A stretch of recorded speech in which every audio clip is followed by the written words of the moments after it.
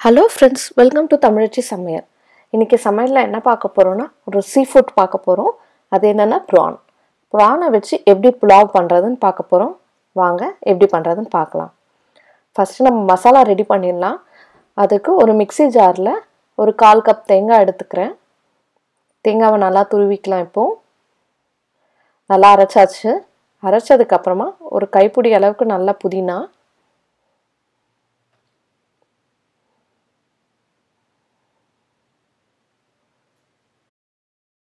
புதினா போட்டாச்சு.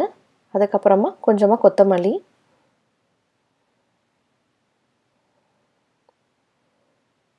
அப்புறம் ரெண்டு பச்சை மிளகா. அதை உடச்சி இதில் சேர்த்துக்கிறேன். அவ்வளோதான். இப்போ இதை பேஸ்ட்டாக அரைச்சிடலாம்.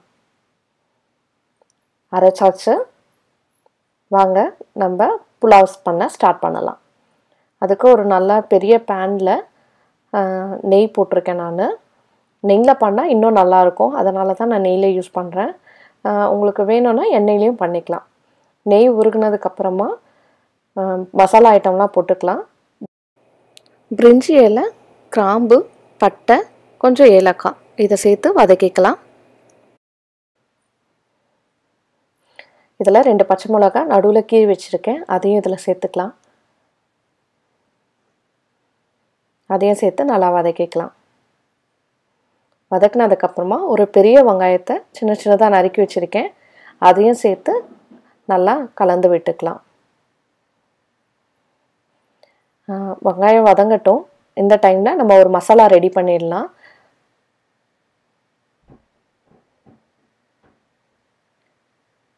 அதுக்கு ஒரு சின்ன கடாய் வச்சுருக்கேன். அந்த கடாயில் ஒரு ஸ்பூன் வந்து மிளகு போட்டுக்கிறேன். ஒரு ஸ்பூன் சீரகம். ஒரு ஸ்பூன் தனியா. இதெல்லாம் நல்லா வறுத்துக்கலாம்.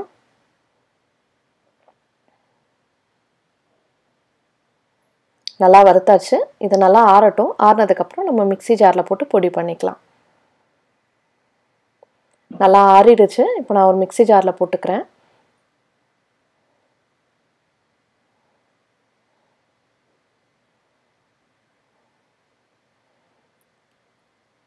இது நல்லா பொடி பண்ணி எடுத்துக்கலாம்.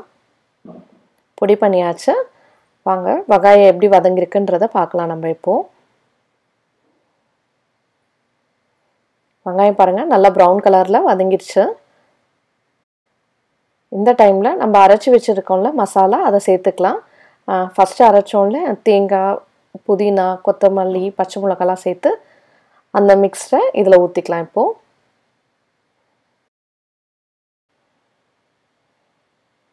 போட்டு இதை நல்லா கலந்து விட்டுக்கலாம்.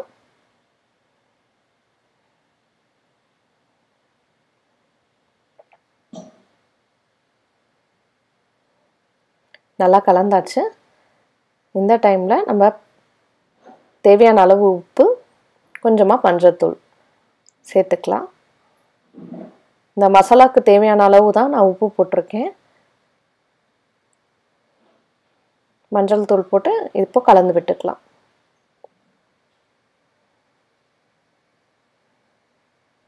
நல்லா கலந்தாச்சு. நான் ஒரு நானூறு கிராம் ப்ரான் எடுத்துருக்கேன்.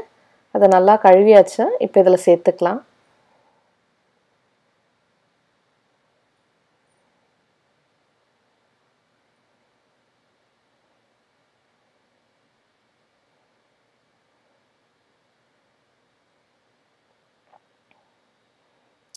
அதையும் சேர்த்துட்டு நல்லா மசாலாலாம் ப்ரானில் படுற மாதிரி நல்லா கலந்து விட்டுக்கலாம்.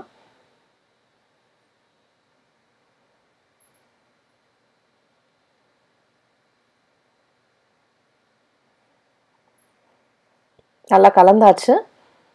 இப்போ வந்து நம்ம சும்மா ஒரு நூறு எம்எல் தண்ணி இதில் சேர்த்துக்க போகிறோம். ப்ரான்லாம் வேகிறதுக்காக. ப்ரான்லேருந்தும் தண்ணி வரும். அதனால் வெறும் நூறு எம்எல் தண்ணி மட்டும் இதில் சேர்த்துக்கிறோம். சேர்த்து நல்லா கலந்து விட்டுக்கலாம்.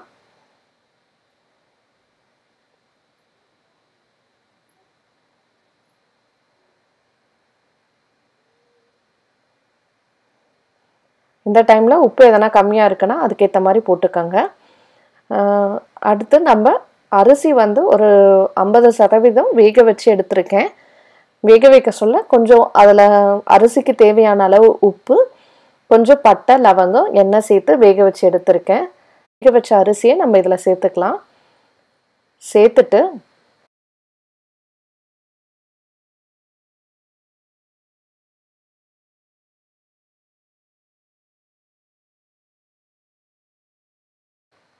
கொஞ்சமாக நெய் போட்டுக்கிறேன். ஃப்ளேவருக்காக அப்புறம் கொஞ்சம் கொத்தமல்லி.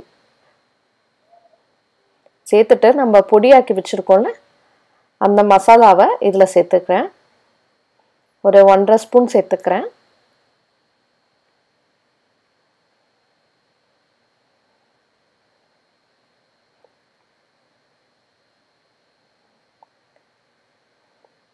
சேர்த்துட்டு அங்கங்கே ஒரு ஹோல்ஸ் மாதிரி போட்டுக்கோங்க.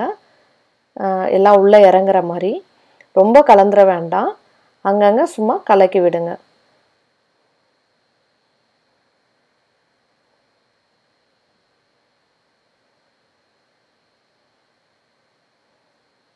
அவ்வளோதான்.